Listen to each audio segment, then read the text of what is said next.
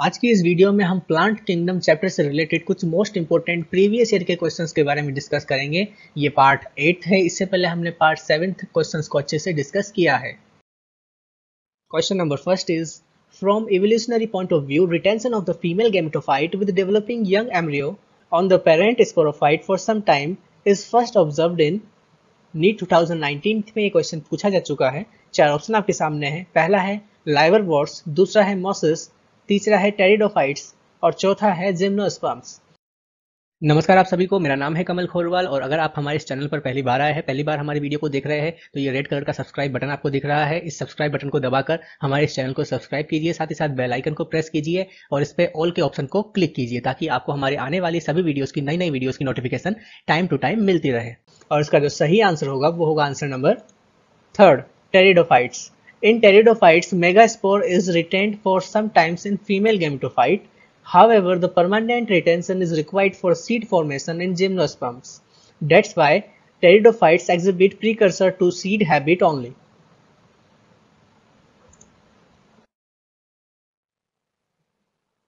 Question number second is which one is wrongly matched?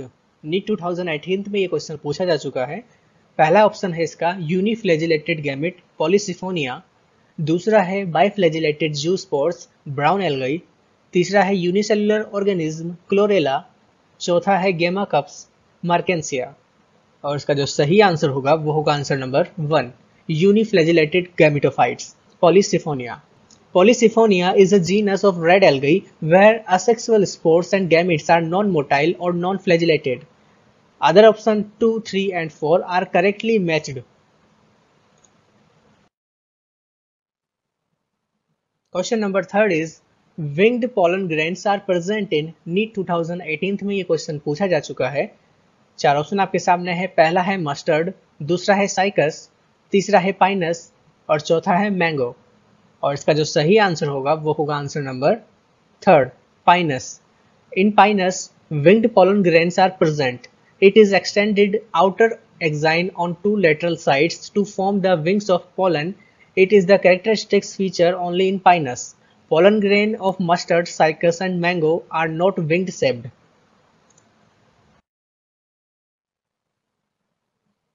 Question number fourth is which of the following statement is correct? NEET 2018 में ये question पूछा जा चुका है चार option आपके सामने है। पहला है ovule are not enclosed by ovary wall in gymnosperms दूसरा है selaginella is heterosporous while salvinia is homosporous तीसरा है stems are usually unbranched in both cycas and cedrus चौथा है हॉर्सिटल्स आर जिम्नोस्पर्म्स और इसका जो सही आंसर होगा, वो होगा answer number one gymnosperms have naked ovule called phanerogams without womb या ovary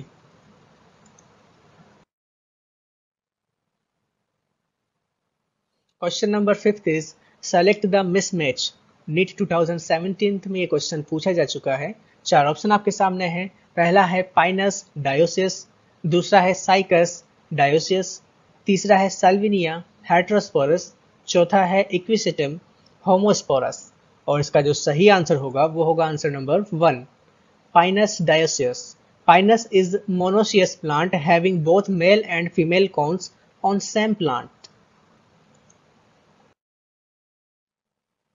Question number six is, an example of colonial alga is NEET 2017 में ये क्वेश्चन पूछा जा चुका है। पहला ऑप्शन है क्लोरेला दूसरा है वॉलवॉक्स तीसरा है यूलोथ्रिक्स और चौथा है स्पायरोगैरा और इसका जो सही आंसर होगा, वो होगा answer number second volvox volvox is motile colonial fresh water alga with definite number of vegetative cells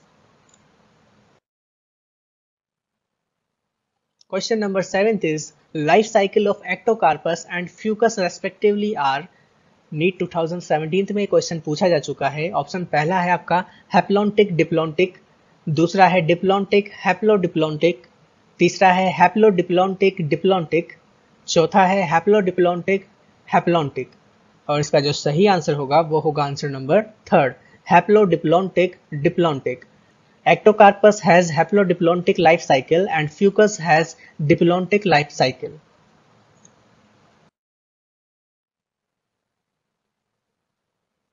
Question number 8 is conifers are adapted to tolerate extreme environmental conditions because of NEET phase two 2016 में ये question पूछा जा चुका है आपको पहला option है इसका ब्रॉड हार्डी लीव्स दूसरा है सुपरफिशियल स्टोमेटा तीसरा है थिक क्यूटिकल और चौथा है प्रेजेंस ऑफ़ वेजल्स और जो इसका सही आंसर होगा, वो होगा answer number third thick cuticle in conifers the needle like leaves thick cuticle and sunken stomata help to reduce water loss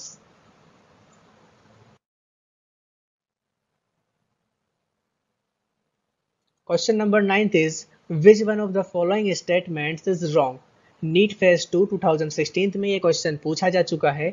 चार ऑप्शन आपके सामने है। पहला है algae increase the level of dissolve oxygen in the immediate environment दूसरा है algin is obtain from red algae and carrageenan from brown algae तीसरा है agar agar is obtained from gelidium and gracilaria चौथा है laminaria and sargassum are use as a food और इसका जो सही आंसर होगा, वो होगा answer number second algin is obtain from red algae and carrageenan from brown algae algin is obtain from brown algae and carrageenan from red algae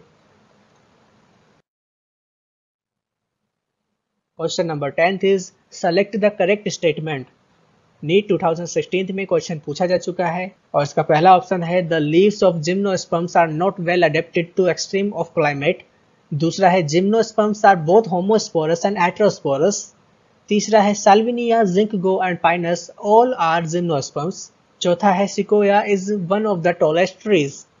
और इसका जो सही आंसर होगा, वो होगा answer number fourth. Sequoia is one of the tallest trees. Sequoia is one of the tallest trees species known as redwood trees. और इसी के साथ आज की ये वीडियो यहीं पे ख़त्म होती है। मिलते हैं नेक्स्ट वीडियो में नई वीडियो के साथ।